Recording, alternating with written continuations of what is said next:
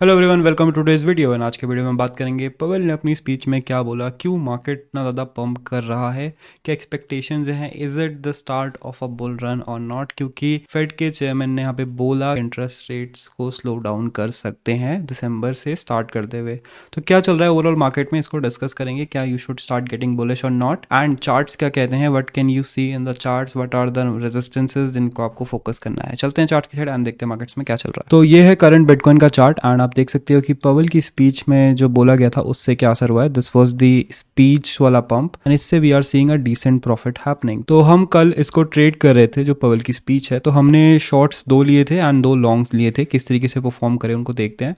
तो हमने light coin and मैटिक का शॉर्ट लिया था तो लाइट कॉइन तो करंट प्राइसेस पे भी प्रॉफिट पे है। मैटिक हमने ब्रेक इवन पे बंद कर दिया था, जैसे ही स्पीच पे उन्होंने पॉजिटिव रिस्पॉन्स देना स्टार्ट किया। एंड लाइट कॉइन को भी हमने आपसे बंद करा दिया था। दोनों के दोनों almost no profit no loss पे बंद हुए थे। ब्रेक इवन प्राइस पे ही हमने उनको बंद कर दिया था। तो यहाँ पे अगर किसी ने थोड़ा लेट भी लिया होगा तो वन टू परसेंट का लॉस आपको हुआ होगा। लेकिन हमारा जो बिटकॉइन एंड इथीरियम का लॉन्ग था दोज परफॉर्म रियली वेल हमारा बिटकॉइन का लॉन्ग जो है around sixteen thousand four hundred से था। एंड इथीरियम का जो लॉन्ग है वो अराउंड 1270 से था। तो करेंटली अगर हम देखेंगे तो 17,200 पे चल रहा है बिटकॉइन जो कि अभी भी प्रॉफिट में है।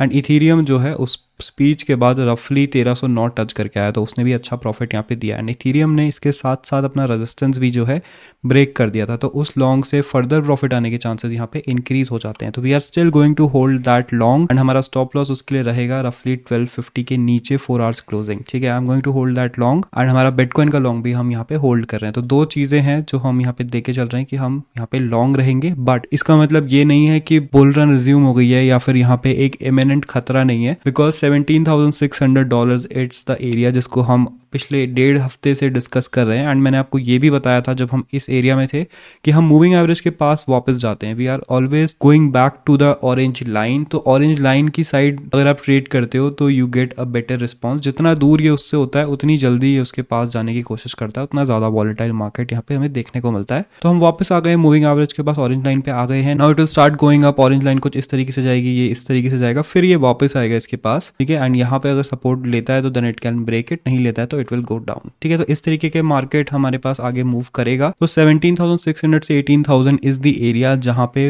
market can start going down क्योंकि मेजर रेजिस्टेंस है। जैसे कि एक हफ़्ते से हम प्लान कर रहे हैं तो that is where I am going to take profit on my longs एक तो हमारा ट्रेलिंग स्टॉप लॉस चलेगा around five percent profit minimum पे हम बंद कर देंगे अगर वहाँ हिट करता है। अगर वो ऊपर जाना कंटिन्यू करता है तो फिर हम इस एरिया में प्रॉफिट बुक करेंगे and will start preparing for a short depending on the market condition ठीक है तो इस एरिया पे हमें शॉर्ट के लिए प्रिपेयर करना है। ठीक है तो ये हमारा ओवरऑल प्लान रहेगा। इसके अकॉर्डिंग आप अपने ट्रेड्स फॉर्म कर सकते हो इफ़ यू वांट इसके बाद डोमिनेंस की बात करते हैं तो डोमिनेंस का बॉटम हमने कैच कर लिया था? हमने आपको बताया था कि this is a very good long opportunity and अभी भी दैट इज़ गोइंग स्ट्रॉन्ग हमारे पास एक डबल बॉटम आया है। दिस वॉज़ द नेक यहाँ पे नेक ब्रेक होके it can start going up also आप देख रहे हो कि old coins are not moving that much compare to bitcoin and that is good and आज जो है मार्केट थोड़ा सा यहाँ पे नेगेटिव में खुलना चाहिए क्योंकि हमने कल एक इतना अच्छा बड़ा ग्रीन पंप लिया है after the Powell speech and जो करंट मार्केट्स हैं, उन्होंने भी अच्छा रिस्पॉन्ड किया है, लेकिन थोड़े फ्यूचर्स डाउन है तो मेरे हिसाब से कुछ इस तरीके का मूव हमें देखने को मिलना चाहिए। थोड़ा नीचे खुलेगा then it start going up double top बना था, उसका नेक ये था तो दिस वॉज़ नॉट ब्रोकन तो ये एक अच्छी बात है। दैट मीन्स कि हम अगले एक हफ़्ते, दो हफ़्ते तक एक अच्छी अपसाइड मूव देख सकते हैं बिफोर अ करेक्शन तो इसके बाद बात करते हैं पवेल ने अपनी स्पीच पे क्या बोला? तो पवेल जो कि फेड के चेयरमैन है, उन्होंने बोला कि फेड यहाँ पे डिसाइड कर सकता है इंटरेस्ट रेट हाइक्स को स्लो डाउन करने का, लेकिन अभी भी हम इन्फ्लेशन को बीट करने से बहुत ज़्यादा दूर है।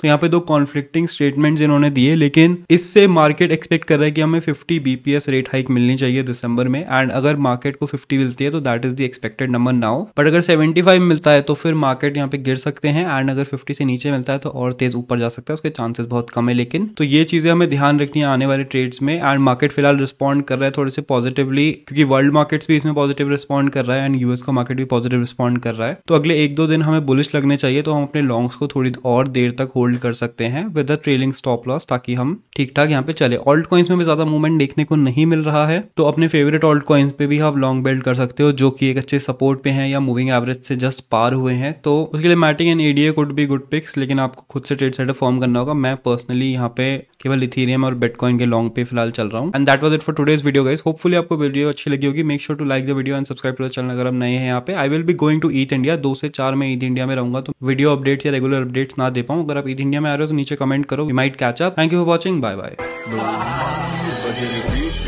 गोरी पैग खींचे नीट लफ्ज मेरे हथियार, पहली चोट नो के सीन। जैसे रगो, मैं कटील नशीला